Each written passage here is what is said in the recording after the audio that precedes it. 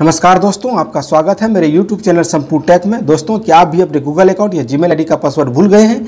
क्या आप भी जानना चाहते हैं कि हम अपने गूगल अकाउंट या जीमेल आईडी के भूले हुए पासवर्ड को अपने मोबाइल से कैसे देख सकते हैं, उसे कैसे पता कर सकते हैं? तो फ्रेंड्स आप ये वीडियो लास्ट तक ज़रूर देखिएगा, क्योंकि इस वीडियो में मैं आपको बताऊँगा कि कैसे हम अपने गूगल अकाउंट या जी मेल के भूले हुए पासवर्ड को अपने मोबाइल से आसानी से देख सकते हैं, उसे पता कर सकते हैं। तो चलिए वीडियो को शुरू करते हैं।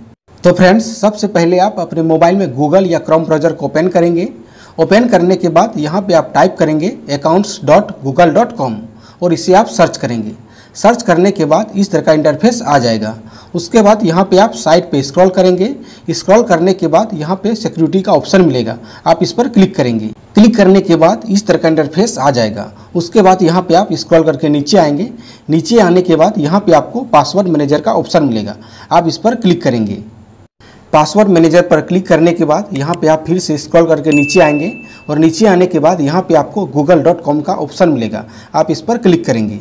क्लिक करने के बाद इस तरह का इंटरफेस आ जाएगा। उसके बाद यहाँ पे आप कंटिन्यू पर क्लिक करेंगे। कंटिन्यू पर क्लिक करने के बाद इस तरह का इंटरफेस आ जाएगा। दोस्तों गूगल पहले आपको वेरीफाई करना चाहता है कि ये कोई दूसरा व्यक्ति तो नहीं है। इसलिए यहाँ पे आप अपने मोबाइल की स्क्रीन लॉक पासवर्ड को डालेंगे या आप अपने सेंसर को टच करेंगे। वेरीफाई होने के बाद आपके सामने इस तरह का इंटरफेस आ जाएगा। उसके बाद यहाँ पे आप अपने गूगल अकाउंट या जीमेल आईडी को तथा यहाँ पे आप अपने गूगल अकाउंट या जीमेल आईडी के पासवर्ड को आसानी से देख सकते हैं।